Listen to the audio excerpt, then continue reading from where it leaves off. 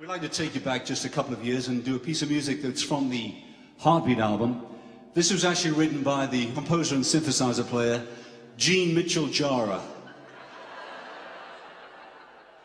I call him that because he calls me Onk. Hello, Onk.